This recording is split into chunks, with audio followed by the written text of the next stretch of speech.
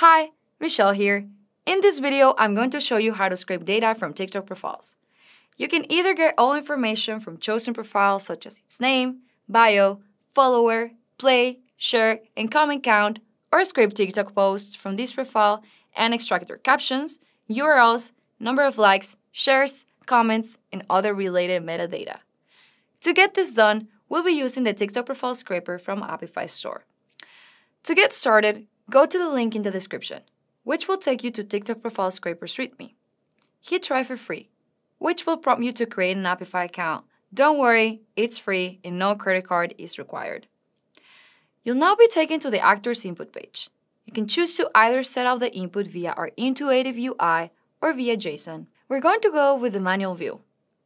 To scrape TikTok profiles, all you need is a username handle of the profile. Let's input our own TikTok account here. You can add more profiles via the Add button or you can edit them in bulk. Next, we can limit how many results we want. Let's go with 100.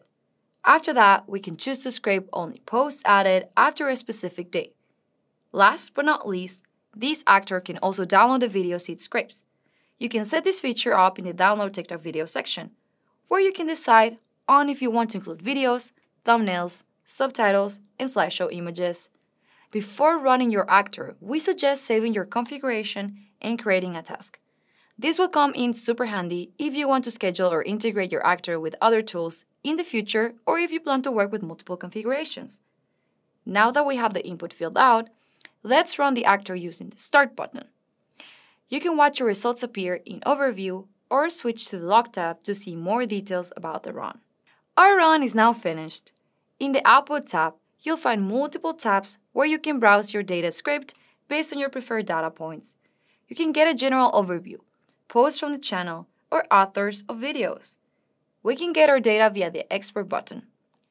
You can choose your desired format and nitpick which fields you want to include or exclude in your dataset.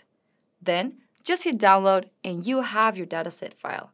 For instance, here's our data in JSON. Open up in a new tab. If you want to automate your workflow further, you can schedule your TikTok profile details scraper to run at regular intervals. Choose your task and hit schedule. You can specify the frequency of how often you want to run the actor. You can even connect your TikTok account information actor to other cloud services such as Google Drive, Zapier, or any other Apify actor. By the way, you can also run the TikTok profile scraper locally via API. You can find the code in Node JavaScript Python, or curl in the API drop-down menu in the top right corner. To learn more about retrieving data programmatically, check out our video on the subject. And that's all for now. Let us know what you think about the TikTok profile scraper. Remember, if you come across any issues, make sure to report them to our developers in the Issues tab in the Apify console. If you like this video, please leave a thumbs up, subscribe, and hit that bell to stay notified about future content. So long, and thanks for all the likes.